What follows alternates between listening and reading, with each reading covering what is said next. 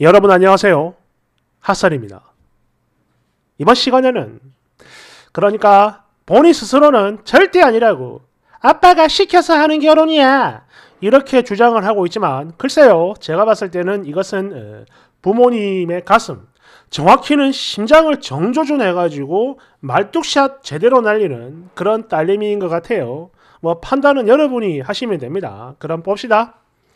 제목 아빠가 평생 일궈온 사업을 지 남친한테 전부 다 물려주고 본인은 그 곁에서 행복할 거라고 믿는 평강에서 온 남이세. 그게 되겠냐? 원제 예비시댁이 미친 것 같아요. 이거를 제 주변에다 말하기에 너무 쪽팔려서 익명인 여기에 하소연 좀 하겠습니다. 제 남편이 될 사람은 저보다 나이가 좀 어리긴 하지만 그래도 세상 누가 봐도 참 바르고 고든 사람이에요. 제가 바로 옆에서 쭉 지켜봐가며 연애를 해봤는데요. 오늘까지 우리가 사귄 지도 벌써 만으로 7년 정도 됐거든요. 이 정도면 확실해요. 그러니까 저희 집은 사업을 넘겨줄 아들내미가 없어요. 그래서 저희 아빠가 늘, 아, 참고로 저는 다른 전공이고 커리어 잘 쌓고 있어요. 어디 그 양아치 같은 놈들 말고 정말 그릇이 크고 인성이 괜찮은 놈이면 내가 다 넘겨준다. 이런 소리를 하셨는데 제가 만난 이 사람이 딱 그 자격이 된 거죠. 그러나 공부를 좀 해야 돼서 사업 분야에 관련해 가지고요. 학비도 지원하고 또 유학까지 지원을 해주기로 하셨고요. 지금도 그래요. 사람은 밑바닥부터 다 해봐야 아는 거라고. 공장에서 알바처럼 주 3일이에요. 그렇게 일할 자리를 만들어 가지고 월 150 정도를 주고 있는데요. 이거는 뭐 말이 좋아 일을 배우는 거지. 그냥 돈을 주고 싶은데 명목이 없으니까 일부러 그렇게 자리를 만들었다. 이렇게 봐도 절대 과언이 아니겠군요. 그래요. 그런데 문제는 바로 저희 미친 시댁입니다. 저희 결혼할 때 고작 1억 보태줄 수 있다 해놓고서는 온갖 불평, 불만에 돈으로 사람을 들들들 뽑고 난리도 아니에요. 여하튼 집의 경우 전세를 할 바에는 차라리 그냥 사는 게 낫겠다 싶고 그래서 예비시댁 지원 1억이랑 나머지는 저희 친정 지원으로 하기로 했죠. 또 결혼식 자금은 물론이고 혼수도 그렇고 뭐 가구도 그렇고 진짜 이거 숨 쉬는 것 빼고는 전부 다 저희 친정 지원으로 하는 거예요. 거의 대부분을. 저희 쪽에서 나가는 돈만 수억이에요. 그래서 이렇게 하는 대신 예단이랑 예물은 없다라고 했더니 이 미친 집안의 어머님이 속이 많이 상했나 봐요. 아예 대놓고 막 툴툴거리면서 돈이 없는데 돈이 없는데 하객도 부를 사람이 우리 가족들 뿐이라 들어올 돈도 없는데 이러면서 엄청나게 막 쪼고 징징거리니까 답답했던 저희 부모님이 그리 어려우시면 양가 하객 식사 비용 전부를 그냥 저희 쪽이 부담을 하겠습니다. 이랬거든요. 그러자 마치 기다렸다는 듯 바로 아이고 그래요 좋습니다 이러더니 헐 장난치나 하객이 없다더니 갑자기 수백 명으로 확 늘어나는 거예요. 아니 요즘 식대가 얼마인데 사돈을 상대로 사기를 치고 앉았어. 그러니까 이거죠. 돈은 쓰기 싫은데 아들놈 좋은 집안에 장가 간다고 자기 주변에 막 떵떵거리고 싶은 그 시커먼 속이 다 보인다 이거예요. 이러다 보니까 이제는 역겨운 걸 넘어서 뭐랄까 막 허무하고 허망한 그런 기분도 들어요. 현타라고 하죠. 아니 사람이 나이를 그렇게 처먹고 염치도 없고 자존심도 없나 봐요. 뭐 그래도 다행인 건 저희 예랑이가 막 나서가지고 중재를 했고 결국 하객은 각자가 알아서 해결하는 걸로 그렇게 부담하도록 결론이 났지만 그 집안 아버지가 끝까지 궁시렁거리는 거야. 아유 씨 예단도 없고 어 예물도 없는데 그 대신 어, 식대 지원을 받고 말이야. 또 우리도 그 감사하니까 대충 한 200 돌려드리고 어? 또 너희들 그 신혼여행 지원한다고 한 800만 원 정도 해주려고 했는데 결국 모든 계획이 다 틀어져 버렸네. 이런 개소리를 해요. 아 진짜 어른한테 이런 말 하는 게 좀 그렇지만 그지도 이런 상거지가 또 있나 싶더라니까요. 뭐 이거 말고도 정말 많은 그런 에피소드가 있지만 이거를 다 쓰기엔 너무 귀찮고 허무해서 그냥 쓰지 않겠습니다. 농담이 아니고요. 써기가 곤란할 지경이에요. 네, 저도 알고 있어요. 이 결혼을 왜 하나 싶으시죠? 근데 저도 그 질문 답하기 귀찮아서 안 할 거예요. 그리고 뭐 파혼이요? 저는 그런 거 하나도 무섭지 않습니다. 정말 좋은 사람이지만 집안이 틀려 먹었으니까 나는 그냥 안 하겠다. 파혼하겠다. 이렇게 말을 했는데 되레 저희 부모님이 이런 저를 말리시더라고요. 세상엔 그 돈이 들어가면 영악해지는 인간들이 많이 있다. 또 능력은 있지만 겸손할 줄 모르는 짐승들도 많고 또 콕 찌르면 억 하고 넘어지는 인간도 있는데 네가 데려온 그 친구는 참 괜찮은 놈인 게 맞아. 어? 자기 부모를 선택해가지고 태어나는 자식이 세상에 어디 있겠냐? 어? 엄마 아빠도 그 정도는 컨트롤 할 수 있으니까 너는 아무 걱정하지 말고 그냥 이대로 진행을 해라. 이렇게 말씀해 주셔가지고 일단은 하나하나 준비를 하고 있다고요. 전하 저희 집안 뭐 어디 갖다 놔도 어디 하나 빠지는 거 없고요. 또 그 잘난 선자리들 역시 전부 다 마다했으며 진짜 사람 딱 하나만 보고 결정한 결혼인데 그럼에도 저도 사람이라서 이 정신나간 예비시댁에 스트레스를 너무 많이 받고요. 또 그거를 아무 죄도 없는 예랑이한테 풀면서 저도 점점 같이 덩달아 미친 인간이 되어가는 것 같아요. 같아요. 그래도 다행인 건 이런 시대 그냥 결혼 본식 때까지만 보면 돼요. 그 뒤엔 국물도 없어. 물론 뭐 명절이나 생일 같은 거를 챙기는 그런 기본적인 도리는 하겠지만 뭐 얼굴을 본다든지 뭐 연락을 한다든지 그런 좋은 관계 이런 건 아예 없을 거라고요. 애초에 인간들이 틀려 먹었기 때문에 제가 마음을 이미 다 접었거든요. 그래서 진짜 중요한 골자는 바로 이거예요.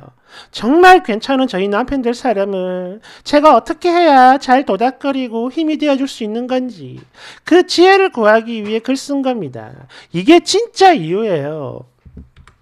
평생 잘 안다고 생각했던 자기 부모가 이렇게까지 밑바닥을 치는 사람들인 걸 알게 돼가지고 막 온갖 그지 같은 감정에 휩싸여서 사람이 무너지고 막 울기도 하고 그러거든요.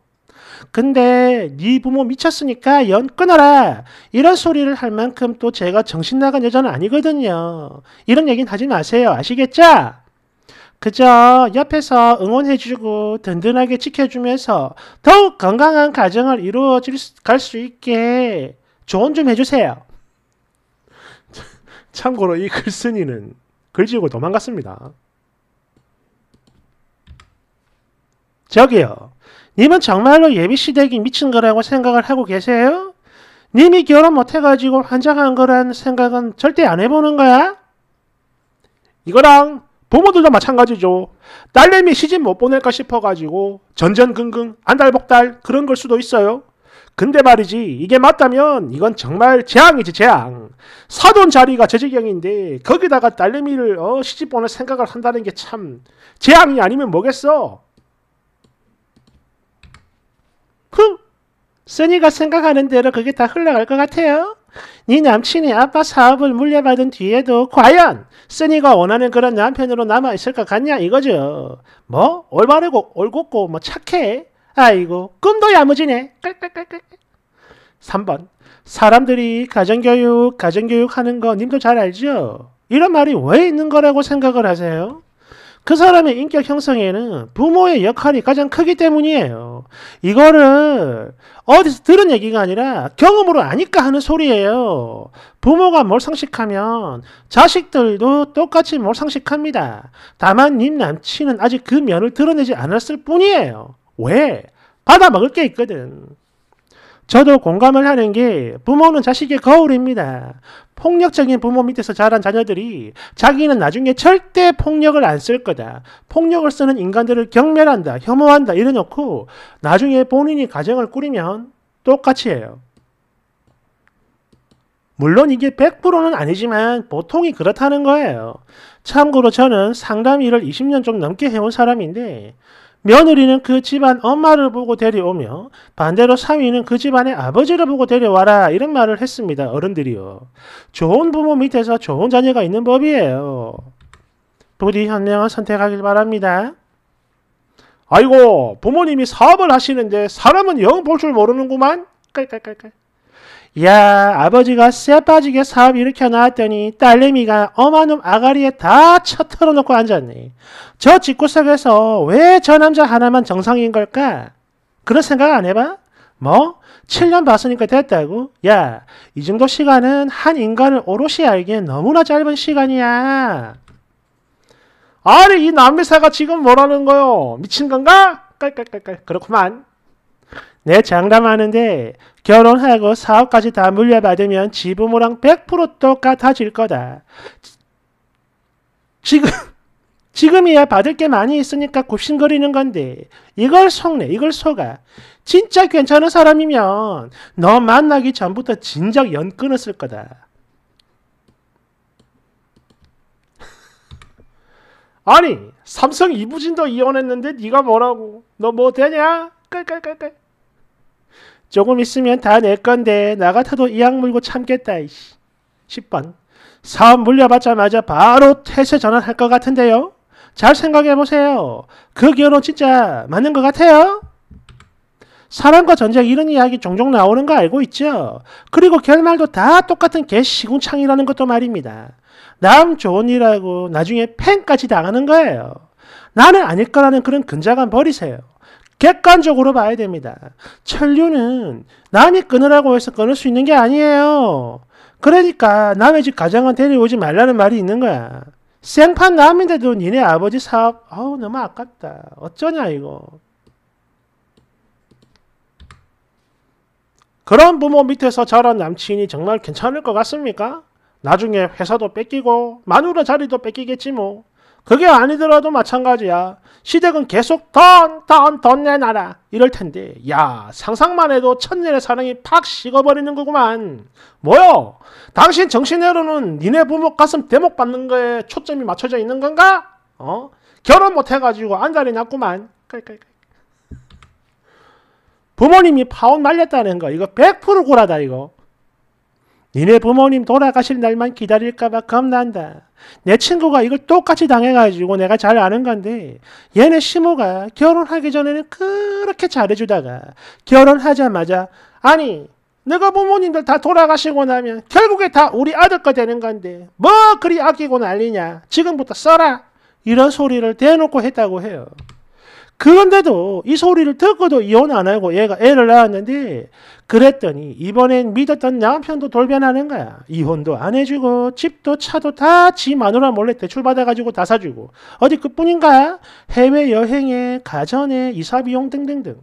친구가 2억씩 두 번이나 갚아줬는데 또 빚이 있대요. 그래가지고 이제야 겨우 소송 이혼을 생각하고 있던데 하 진짜 보고 있는 내 복장이 다 터져가지고 이제 걸레짝이 됐어. 보니까 뭐 너도 딱 이렇게 될 팔자니. 어, 미리 축하한다. 그 사업 아빠가 주겠다는 거 정말 맞냐?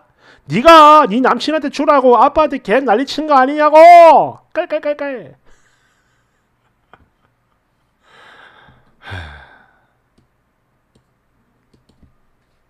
물론 어, 부모가 뭐 그지 같고 개차반이라고 해서 무조건 그 자식들도 똑같이 되라는 법은 없습니다. 100%는 아니에요. 하지만 제가 언제나 늘 부르짖는 말이 하나 있죠. 사람 인생은 확률이라고. 이 세상은 확률입니다. 정상적인 부모와 그렇지 않은 부모 사 밑에서 둘 중에 누가 어, 정상으로 클 확률이 높냐 이거지. 또 반대도 마찬가지고. 부모가 정상인데 자식이 개차반일 확률은 굉장히 낮아요. 그죠? 보통 보면 그래요. 또 반대도 마찬가지고. 부모가 개차반인데 자식이 정상인 확률도 낮죠. 어.